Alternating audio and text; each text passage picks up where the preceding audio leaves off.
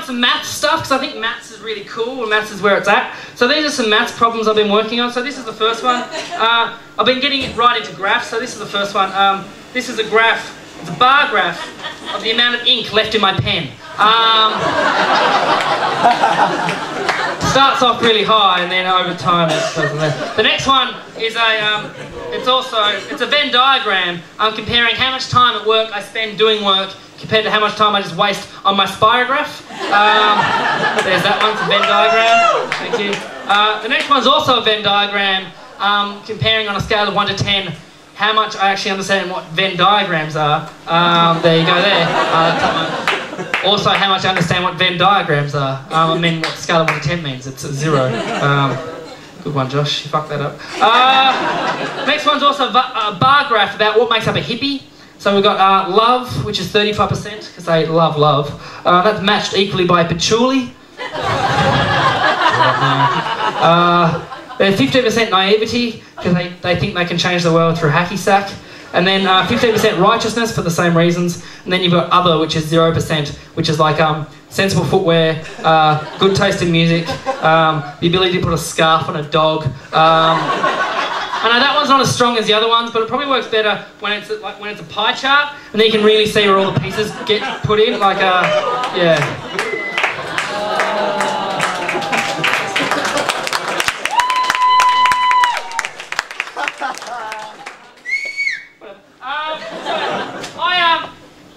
At the end of last year, I got asked to go back to my old high school and give the give the speech to the year 10 leavers at my old high school. Because some, somehow they thought that I had made it. Um, so I thought, I'm going to do this. So this is the speech that I gave. Like, I'm going to do this. Um, yeah, I broke a stool. What are you going to do? Um, so this is the speech I gave, and uh, I'm going to do it word for word. I'm not going to make any of it up. Oh, uh, so, so, imagine that you guys are uh, year 10 leavers and then before you leave, I come on, on stage and I give you your speech. So this is the speech word for word. Okay, here we go. Good morning, students and staff, parents and friends, grandparents and aunties who don't have any children of their own. Many of you here today will not know who I am. You're probably sitting there thinking, who is that good looking boy up on stage with the boyish good looks of a good looking boy? the magnetic charm of a metal bracelet and the brooding intensity of a basset hound. but a basset hound with the eyes of Bill Murray. The good Bill Murray too, not the, the lost in translation one, not, not the stripes Bill Murray, the good one. Well, I'm here to tell you that I'm one of you, just with slightly tighter trousers and a lesbian's haircut. but I'm more than just a haircut and trousers. if you spent your Saturday nights at home, alone, Googling Josh Earl like I do, you too would know a great deal about the enigma that is Josh Earl.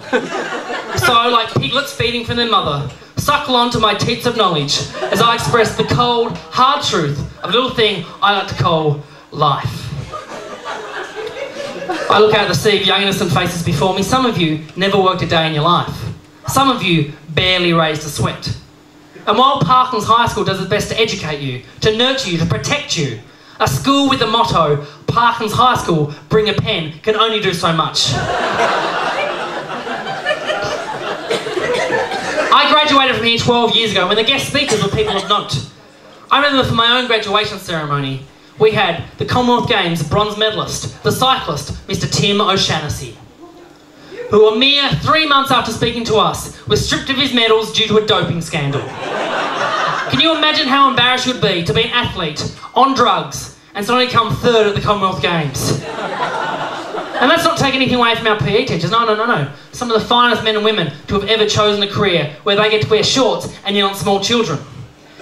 I remember my own PE teacher, Mr. Dougal Skeggs. That's right, his name was Dougal Skeggs. And he filled with all kinds of wisdom. At the time he said to me, he said, Josh, there's no I in team, but there is one in winning. When I pointed out there's actually two eyes in winning, sir, he said, yeah, no, that's got two eyes. Me, and they're watching you do 20 push-ups, smart ass. These are the types of men and women that I don't teach anymore. And more for them. I've tried contacting Dougal, but Dougal is not on Facebook. I then Googled Dougal, but that was frugal because Dougal is not on Google. I know that last, that last sentence makes me sound like a Dutch Snoop Dogg, but as my nan always said, Josh, she said it's It's far better to sound like a Dutch Snoop Dogg than no Snoop Dogg at all. she wasn't well. I'm now going to speak to you kids in a language that you'll understand. A language that my generation invented. We invented this language. It's called the language of rock and roll, which was invented when two brothers named Gallagher from the small American town of Manchester, England, strapped on guitars, added a bass, and created a style of music that no one had ever heard in their life before. the Beatles. So this song is called Kids Today Got Easy, Kids Today Got Sweet. It sounds exactly like this. Yeah, that's it. I'm gonna.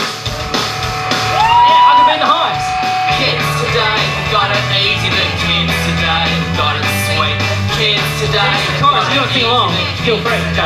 got it sweet. In my day, we had a little thing called dial-up, and it was character building. Because if you wanted to download a document, you must have really, really wanted that document. I even heard horror stories, some larger files, spreadsheets for instance, taking up to three minutes to open. No one, not even your worst enemies, have to wait three minutes for a spreadsheet. And in my day, we didn't have things such as DVDs. Oh, no, no, no. We had something called a video cassette tape. And when you had to take that back to the video store, you had to rewind it. Because if you didn't rewind it, the man who worked at the video store, he would rewind it for you.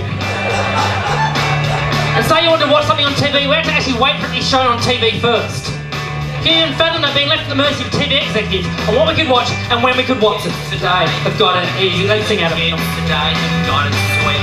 Kids today have got it easy, kids today got it sweet. And so you had to sign for school, like an essay on the first fleet, for example. We couldn't just look that up on Wikipedia. Oh, no, no, no. We had something you might have read about in the history books called history books. Or if you were really lucky, you had Encarta. And you had to load that from a disc. And that could take minutes. Even longer if your little brother didn't put it back in the right case.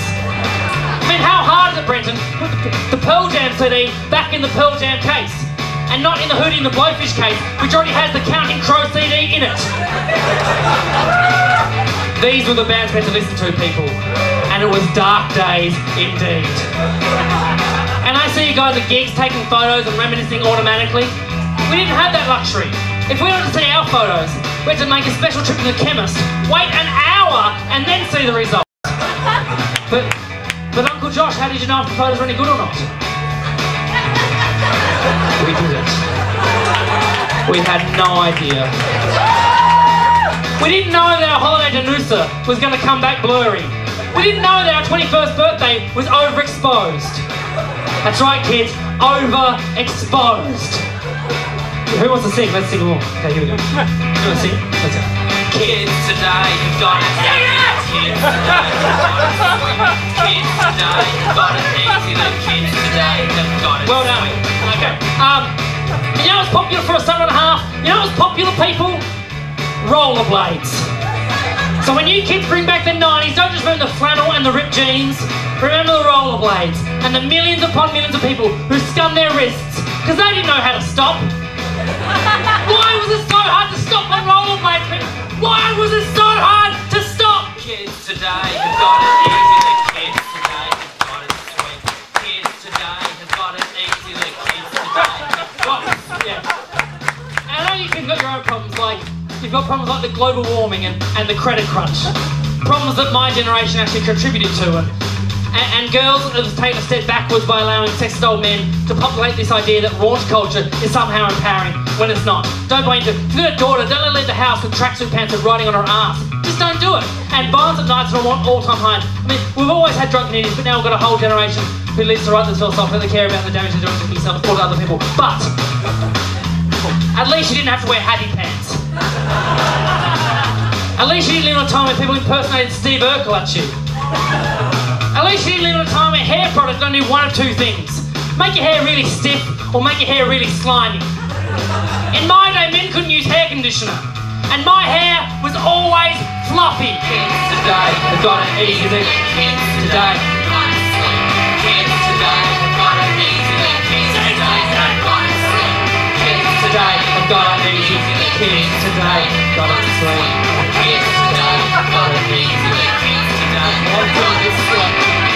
Love you, Josh Thanks. Bye.